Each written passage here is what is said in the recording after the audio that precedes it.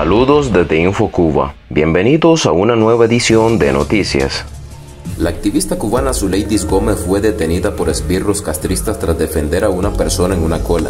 La información fue difundida en las redes sociales por varios activistas cubanos, indicando que Zuleidis Gómez la pretenden acusar por absurdos delitos de atentado, por el simple hecho de defender a otros, así como defenderse a ella misma. Yutuel Romero critica al diario comunista Gradman luego de que el medio publicara un artículo a favor de Rusia ante los ataques a Ucrania. Gradman, mejor diga el gobierno de Cuba. No le mienta al mundo que ustedes saben que el pueblo de Cuba está con el pueblo de Ucrania. Tras este comentario de Yutuel contra Gradman, decenas de cubanos opinaron, apoyando al cantante cubano y consideraron que el pueblo cubano rechaza la guerra, pero además condenaron la invasión de Rusia a Ucrania. La televisión italiana niega cualquier vínculo con el Festival de San Remo de Cuba. La RAI confirma que Festival de San Remo pertenece al ayuntamiento de la población italiana, que tiene un acuerdo exclusivo con la cadena pública para su producción.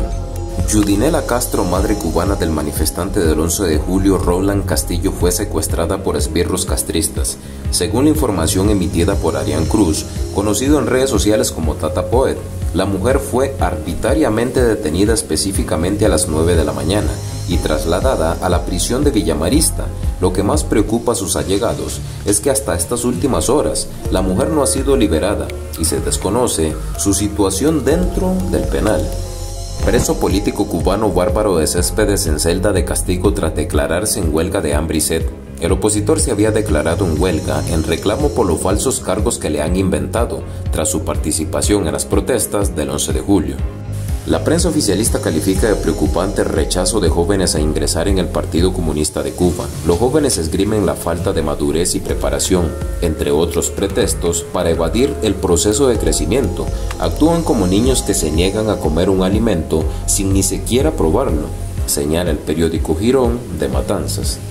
Cubana denuncia estafa con galón de aceite en Feria de La Habana. El producto era agua pintada con una sustancia que puede ser grasa de pelo o sabe Dios qué invento, contó la cubana.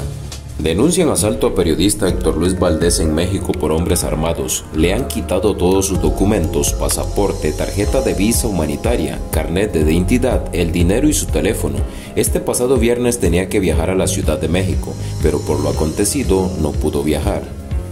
Las misiones médicas esclavas, consideradas como tráfico humano, le embolsillaron a la cúpula castrista más de un millón de dólares. De acuerdo con el periódico independiente Cubanet, que cita el portal de noticias Latinos, hay un vínculo entre el Consejo Nacional de Ciencia y Tecnología de México, mejor conocido como CONACYT, y el régimen cubano para el supuesto desarrollo del conocimiento y la investigación en el país azteca. Dicho médico reveló que solo en el 2021, ANLON, a través de CONACYT, pagó 1.66 millones de dólares a la comercializadora de servicios médicos cubanos S.A., una sociedad anónima creada en el 2011, acusada internacionalmente de trata de personas y trabajo forzados por proporcionar las misiones médicas esclavas.